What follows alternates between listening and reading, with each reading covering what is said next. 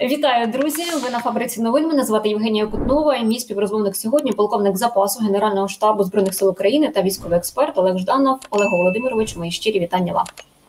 Вітаю вас, доброго дня. Давайте розпочнемо нашу розмову з подій, які відбуваються під Вугледаром. Форбс пише про те, що 72-га бригада збройних сил України почала відхід з Вугледару. За даними аналітиків, ситуація в місті є критичною і ймовірно, це завершальний етап його оборони. Чи можна говорити про те, що Вугледар все, як ви бачите там ситуацію? І а якщо наразі вже Вугледар, то далі тоді які міста?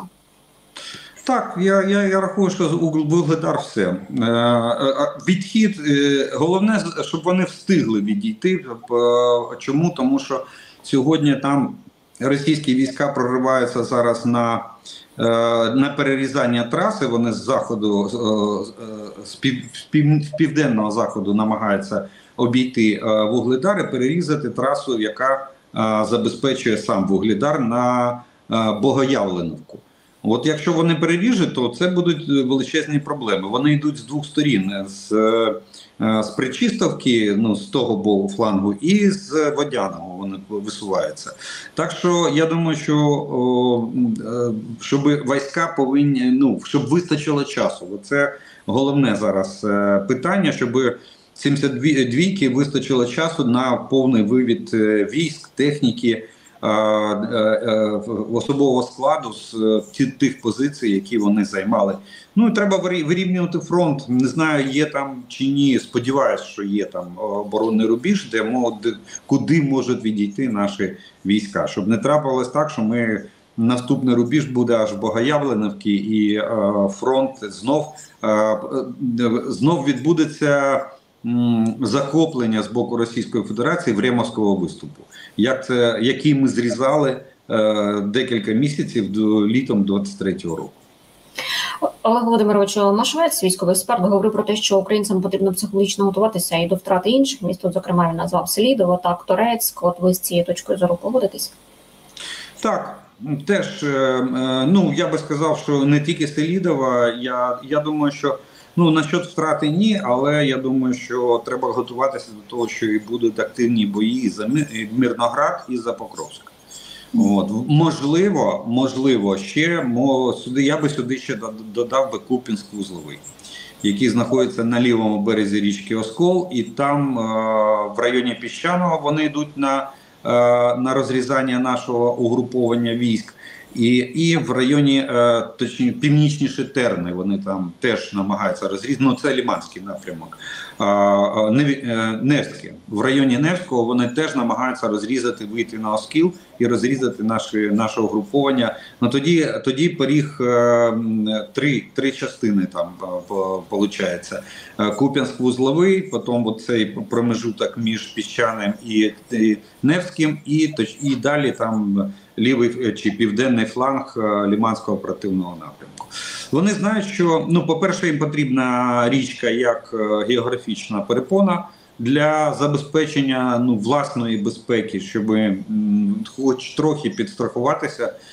Що ми не будемо форсувати цю річку і таким чином, ну, от як Дніпро зараз в Херсонській області, виконує виконує роль фактично прегради між між нами і і окупантам, і російськими окупантами. Теж саме.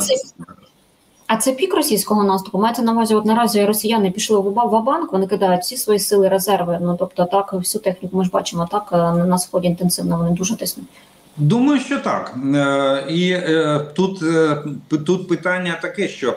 Е, а вистачить сил чи ні? Я би от е, на за скобками би залишав ще от таке питання: що а вистачить сил чи ні? Ну з вугледаром е, на сьогоднішній день е, все зрозуміло. А от е, е, Селідово, я думаю, теж е, сил у них вистачить, тому що вони йдуть по інерції е, і намагаються оцей російський каток, намагається.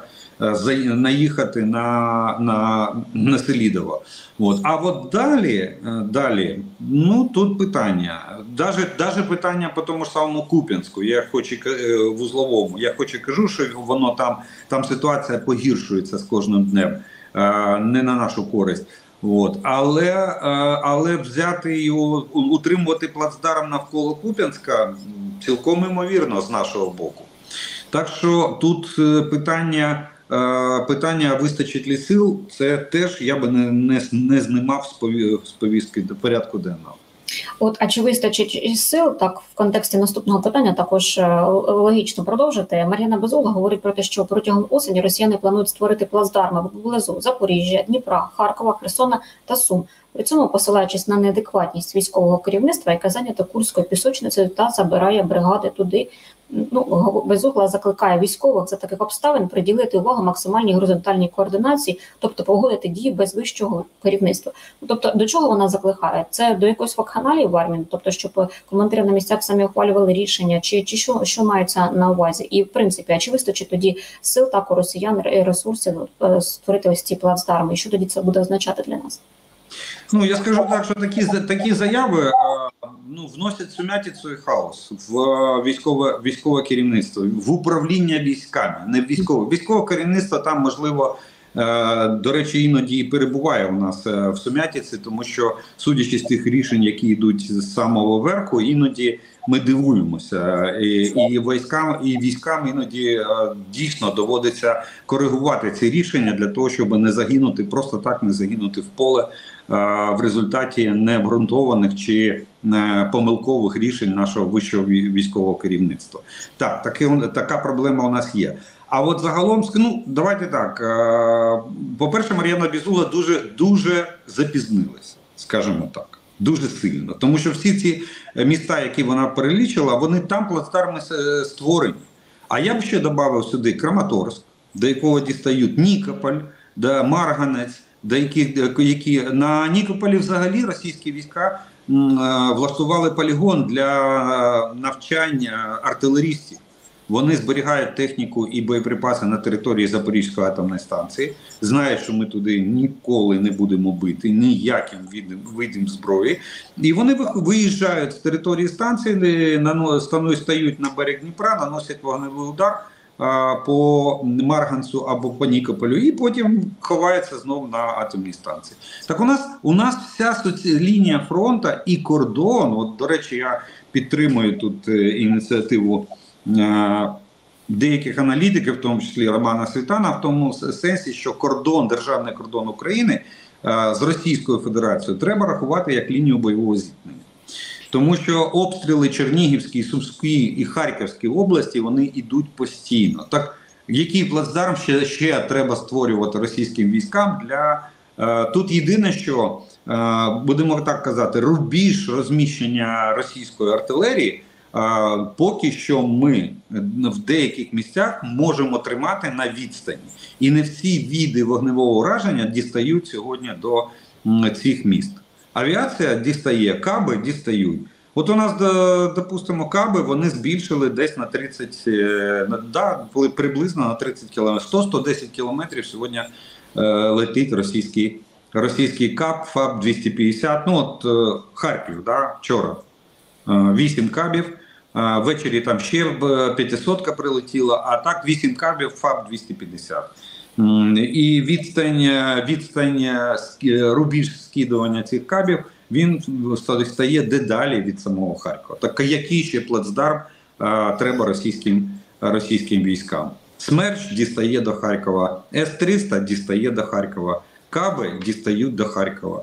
Те ж саме можна сказати про Суми, те ж саме можна сказати про ну, Херсон, там тільки ширина Дніпра. Так що вона дуже сильно запізнилася, і на сьогоднішній день це перше. І друге, е, тут же курську операцію треба розглядати в, двох площинах: це політична і військова. З військовою ми з вами говорили, там е, завдання фактично виконано. Е, В тому сенсі, що ми контролюємо частину території. Кількість цієї території, яку ми контролюємо, залежить напряму залежить від наших сил і можливостей. І даже, но, даже утримуючи такі, е, такі, таку, таку територію, як сьогодні, е, ми вирішуємо е, політичне завдання. От і все. І там, до речі, там, ну, там про другий крок. Який другий крок? Це кінцева мета утримання території ворога, нанесення йому вогневого ураження і утримання території настільки, наскільки буде можливим по нашим силам і засобам. Олег Володимировичу, я уточню щодо Харкова. Ви знаєте, що це моє рідне місто. Ми бачимо, що щоденно ворог його це закидує саме кабами. Якщо дивитися на номенклатуру, то раніше це були крилаті ракети. Знову ж таки, потім ми отримали ось ці дозволи так на 70 кілометрів. І ось ці комплекси С-300, так і С-400, Вони трохи відтягнули. Трохи це на якийсь період так спали ось ці обстріли, але тим не менше ми бачимо тепер каби. Суми також. Що може врятувати ці міста?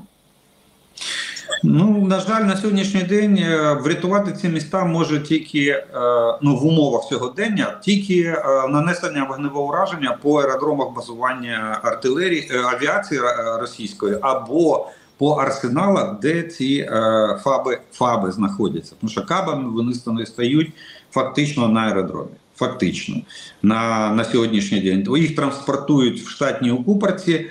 Е, щоб її не переробляти. А вже е, сам сам е, УМПК, оцей комплект. Уніфіцирований комплект план, план, планування і корекції. Його вже на, на, надягають на цю бомбу безпосередньо технічний персонал тих аеродромів, на яких на яких базуються ці літаки. Справа в тому, що вони так вони сьогодні передислокували більшу частину 90%, сказав Блінкін.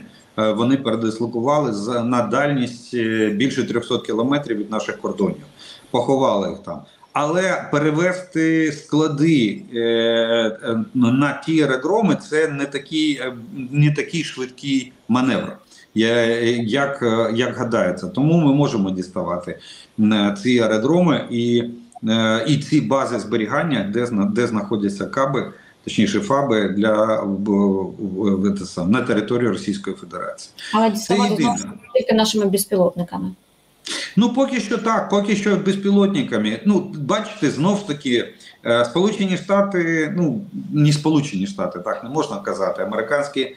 Американські налогоплательщики е, вони вони, вони за підтримку в більшості своїй От, виборці, ну американський народ, скажімо так.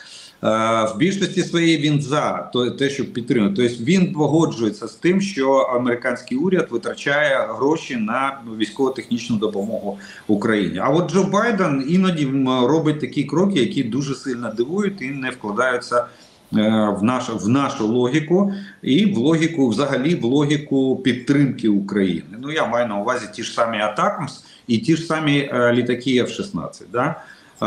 ну факт відбувся, що їх дали, але дали 10 літаків і заборонили їх е, використовувати.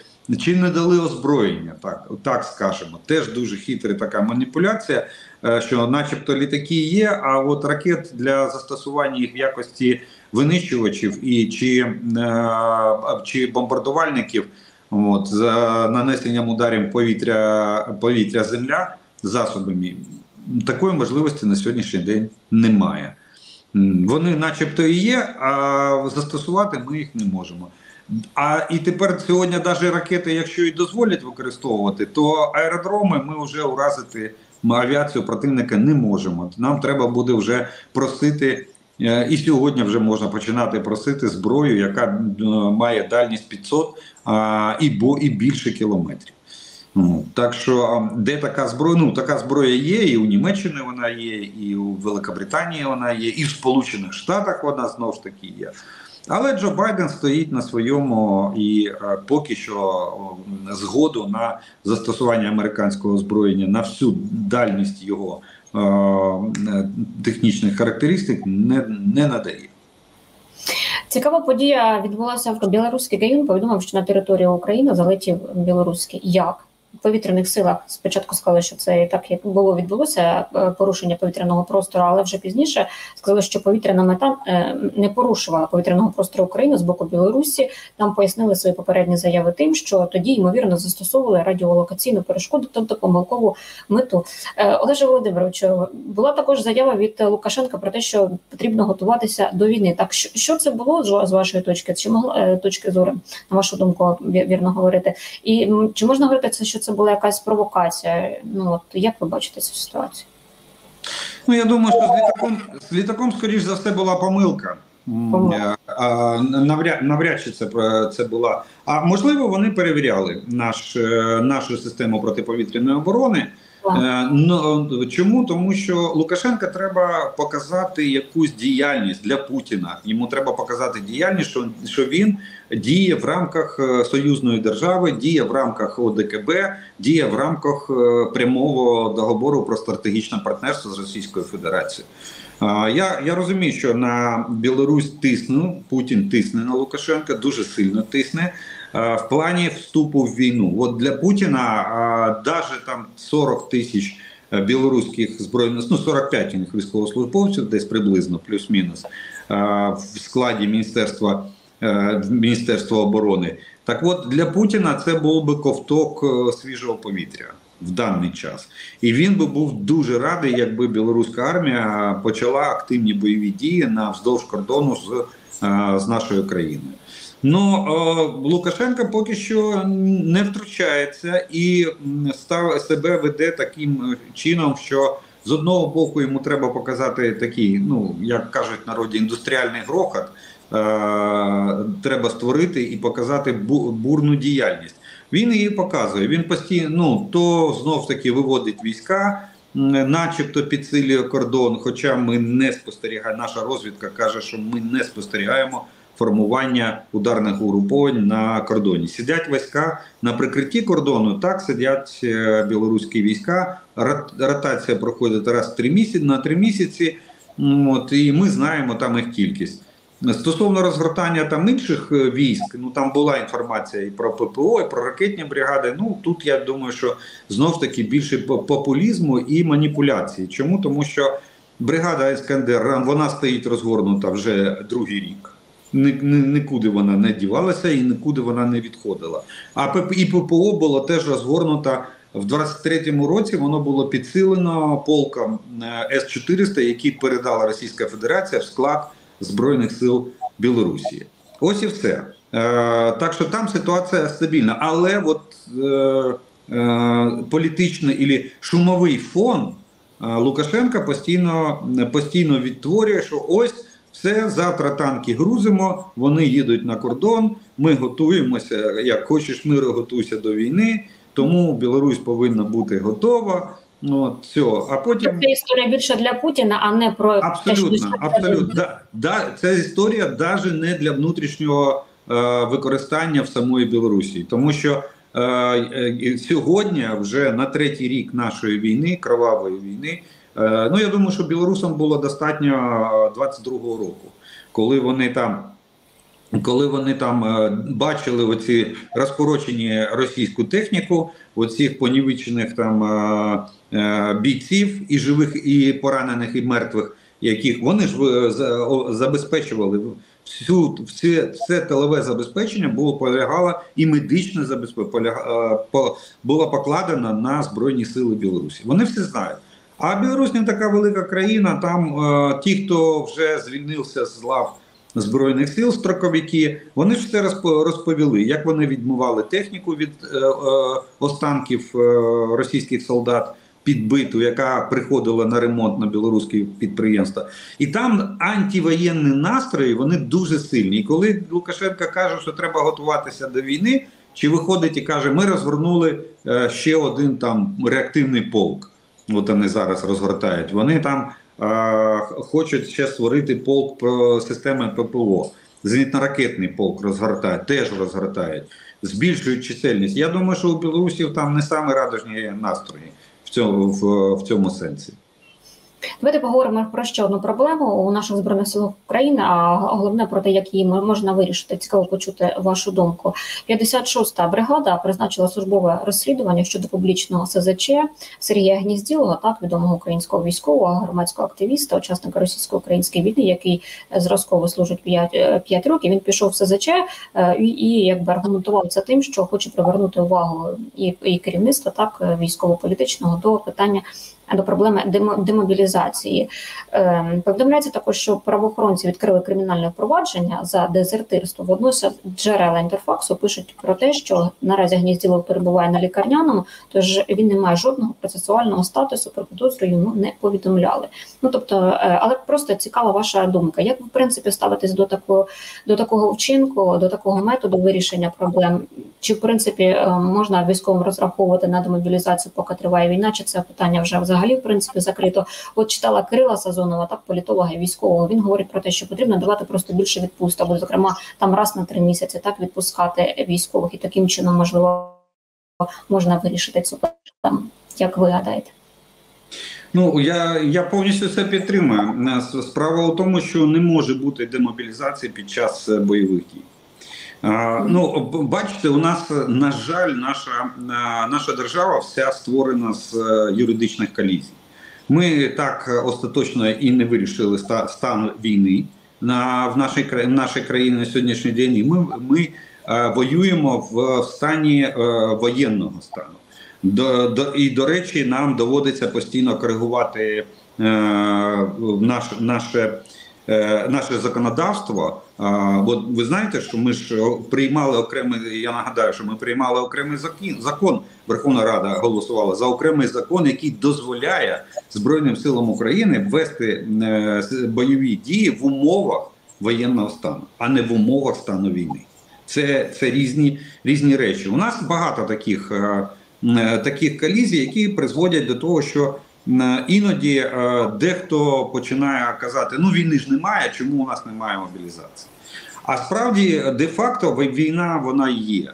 І під час війни, на жаль, неможливо організувати демобілізацію. Під час війни е, треба треба робити ротацію. І причому ротацію дійсно виводити. Ну, от я знаю приклади Другої світової війни. До речі, я колись е, проходив службу в складі 128-ї е, механізованої дивізії Мукачева. Зараз це бригада. 331-й самохідний артилерійський полк. Його вже не існує е, давно. Так от він був на ротації цілий рік. В 44-му році він пробув в Криму на ротації, на відновленні, на поповненні втрат і на навчаннях. І тільки через рік цей полк знов вирушив на фронт. Так це Друга світова війна. Коли коли масштаби були там фронтів, тільки було е, більше десяти в, в складі е, в складі Збройних сил Радянського Союзу. Ну, питання, до речі, е, коли Сирського призначали, так це питання було одним із головним. Е, провести ревізію. Він там щось почав, навіть 8 тисяч якихось знайшов е, військовослужбовців, яких можна було відправити. Е, на фронт, ну ми так і не знаємо, відправили він їх чи ні. І по і е, за рахунок цієї ревізії, результатом цієї ревізії повинно було стати е, більш-менш зрозумілий графік ротації військових частин і підрозділів на лінії бойового зіткнення з виведенням з виведенням Е, цих частин в глибокий тил і е, перебуванням там на відновленні і на е, на, на поповненні втрат і на відновленні боєздатності. Ось що треба робити. А під час а під час відновлення боєздатності і поповнення втрат, будь ласка, графіки відпусток відправляйте військовослужбовців на відпустку додому, щоб вони могли і відпочити і з родичами по поспілкуватися. Тут же ж ніхто ніхто не забороняє. Але це ж відповідальність е, кого? Генерального штабу і главкому. Президент Володимир Зеленський перебуває так е, у Сполучених Штатах Америки. Ще, і... Давайте маленька До речі, от такі е, демонстративні дії.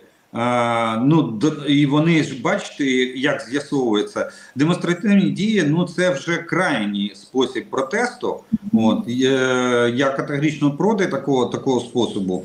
От і якщо там є порушення закону, то воно повинно бути покарано. Але ж бачите, як з одного боку ця людина оголошує про те, що він демонстративно йде в самовольне залишення частини.